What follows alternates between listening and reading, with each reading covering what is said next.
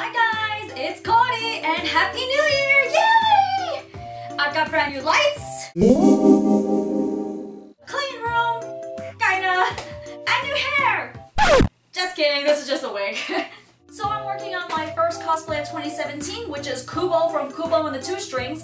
And since I'm going to be working with a Japanese pattern for his top, I thought it'd be great to go over how to work with Japanese patterns. 日本語がわからなくても私は簡単にソーイングの言葉を説明してみようと思います。それでは始めよう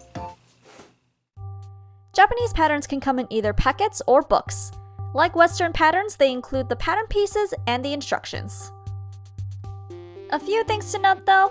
If you're using the imperial system, you'll notice that all the measurements will be in the metric system, so you might have to do some conversion. In addition, Japanese patterns tend to come in much more limited sizing than American brands. If you want to learn how to resize patterns, I've put some links in the description below.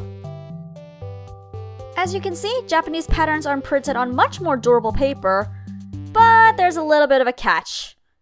They all are overlapping. So you're gonna have to trace all the pieces yourself. Luckily, all the pattern pieces are color coded with their own unique lines and marks. My Otome sewing book pattern, for example, has a key that assigns each project a number, a color, a line marker, and how many pieces I'll need to trace.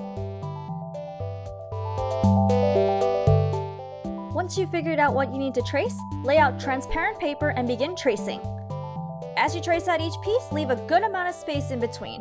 Why?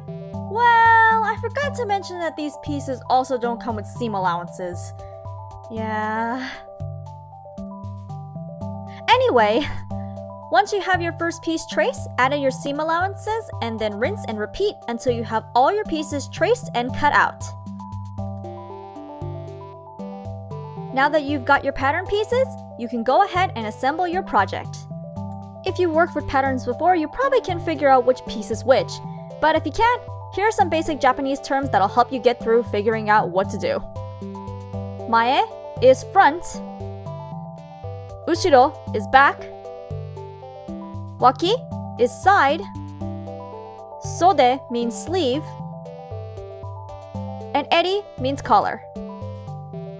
I've linked to a Japanese website in the description below that gives a full list of various Japanese sewing terms.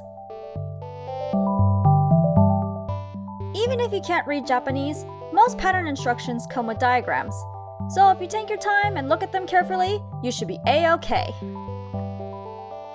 I could go on and on about this topic, but honestly, that would be like an 8 hour vlog, so I think I'll probably stop here for now. If you have any specific questions about how to work with Japanese patterns, please feel free to comment below and I'll try to answer as best as I can. Also, don't forget to subscribe to see more videos from me. See you next time! Bye!